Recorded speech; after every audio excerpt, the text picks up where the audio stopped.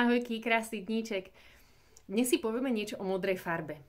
Modrá farba je najchladnejšia farba, najčistejšia a najhlbšia. E, takže ak e, ste zimomriví, tak určite si modrú farbu nedávajte v nadmiere, alebo teda vyhýbajte sa modrej farbe, pretože e, vyvoláva pocit chladu. Naopak, ak e, ste veľmi rozhorúčení, často sa potíte, alebo máte veľa zápalov v tele, takže môžete použiť modrú farbu na schladenie týchto zápalov. A e, modrá farba evokuje hlbočinu, e, krásne podporuje obličky a močuje mechúr podľa čínskej medicíny. A teda, ak potrebujeme tieto orgány podporiť, tak obliekame sa do modrej, tmavomodrej, také indigovej alebo čiernej farby ale e, čierna farba, to sa hovorí, že to není ani farba, lebo tá nemá žiadnu farbu, naopak biela majú, má všetky farby v sebe obsiahnuté. Uh, a čierna zase v nadbytku veľmi oslabuje organizmus, takže používame ju iba s mierou. A môžeme použiť aj takéto uh, potravinky, ktoré sú tmavé a také tmavo-fialové alebo čierne, napríklad čierny sezam, E, čierne fazule, tie krásne posilňa obličky a močové mechúr. Zase si môžeme priložiť ruky na obličky a močový mechúr, hej, alebo na obličky dozadu a posielame tam vnútorný úsmev a modrou farbou môžeme e, vizualizovať, zavrieť si oči a posilňovať tieto orgány. A modrá farba je e, farbou oblohy a mora, Modrá farba predstavuje istotu, stálosť, nekonečnosť, nesmrteľnosť. Keďže obličky sú naša životná sila, takže podporujú aj víziu, jemnosť, ľahkosť, bezpečnosť. A naopak morská hladina evokuje pokoj, kľud, hĺbku, uvoľnenosť, oddych, vyrovnanosť, sviežosť, ľahkosť a pokoru.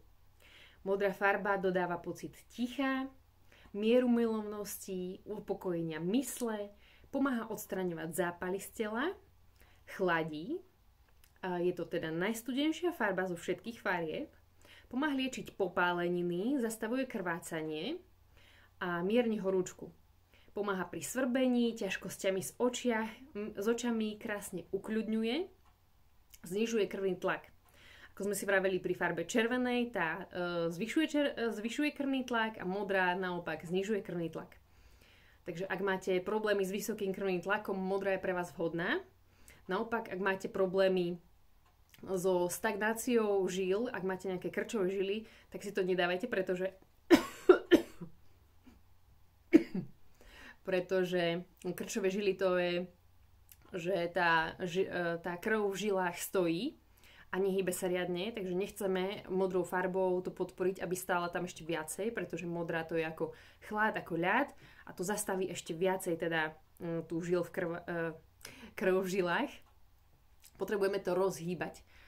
A rozhýbame to inou farbou, napríklad oranžovou, hej, tak nám krásne rozprúdi. No, pomáha nám uh, pri nervóznych ľuďoch, takže ak máte nervozitu, je pre vás veľmi vhodné, alebo pri rozrušených ľuďoch. Pomáha zlepšiť pamäť, ako som vravela pri farbe žltej, v kombinácii s modrou je to veľmi krásna kombinácia pre posilnenie pamäte. Spája sa s múdrosťou a na oblečení sa využíva často.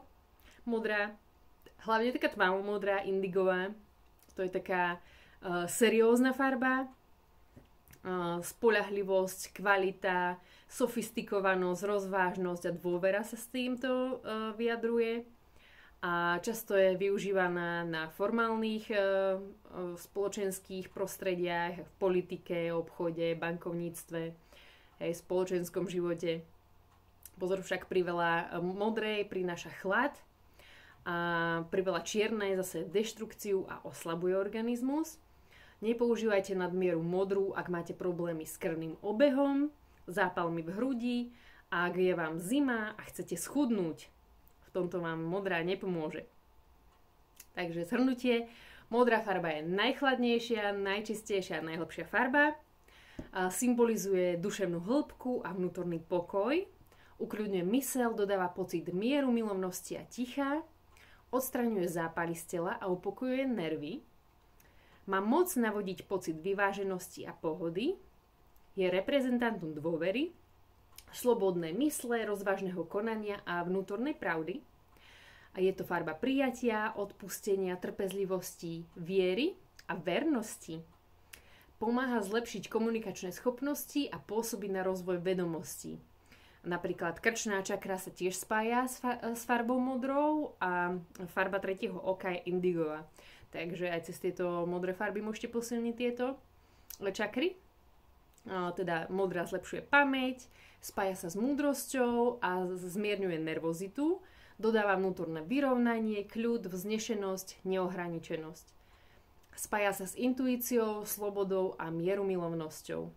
Ak máte nejaké prejavy, že potrebujete komunikovať, tak uh, modrá farba vám krásne pomôže, napríklad modrú šatku si dáte, hej, a to aktivuje krčnú čakru. Oveľa lepšie sa vám bude hovoriť nejaký prejav. Tak majte sa krásne a zajtra si ešte povieme o farbe zelenej.